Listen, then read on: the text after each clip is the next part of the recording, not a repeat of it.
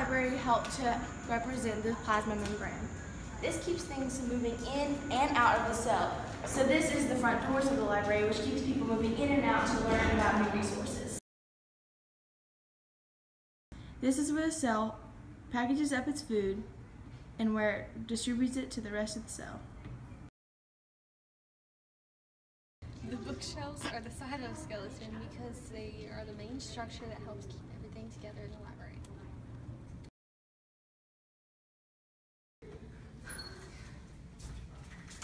The lysosome is where the cell gets rid of its waste. We represented this by using the bathroom of the library.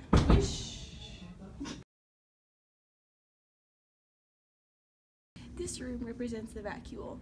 This is where they store all their information in the books for all the children and all the teens that come down here. The elevators or the stairs would be the rough endoplasmic reticulum because they help transport the food sources for the library. The mitochondria is the powerhouse of the cell. So technically these books in this library keep the library running, so then they're the powerhouse, so they would be the mitochondria.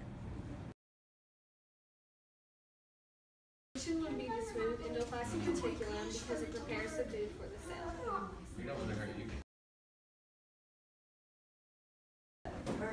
This front office represents the nucleus of the cell. This structure contains the proteins. These proteins help to work together to rewrite RNA.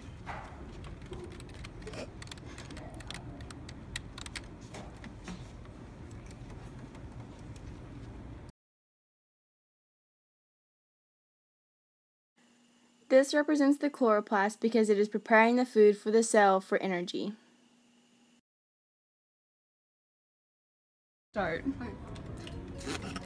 I'm just gonna keep going, so whenever you're ready. The mitochondria is the powerhouse Wait, quit typing.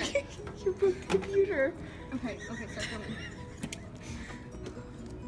The mitochondria. Stop, you're breaking it. Okay, okay. The mitochondria is the powerhouse of the cell. Shut up, okay? Go over there. Don't look at me. I do not listen to up there, I'll go back. The mitochondria is the powerhouse.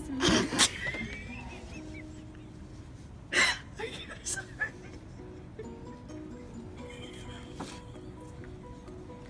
What? I'm not joking. Go over there. Okay. The mitochondria is the powerhouse of the cell. So technically, the books would be the powerhouse of the library because that's what they. That was so good too. no. Okay, let me start. Two hours later. The mitochondria is the powerhouse of the cell. So technically, the books in the library keep the library. Is the library? Hey, Randy, we're getting better at this one. Okay. This would be the. This would be the rough endoplasmic reticulum because it helps to transport the food sources, and I'm not going to get in it. So why you get in it? Right, right, right, right. Get it, Just get in there. Just go to transport. You want to Sure. so as you can see, it's transporting its food source to the books for the library. Where you want me to do the hallway? Start filming. I already have.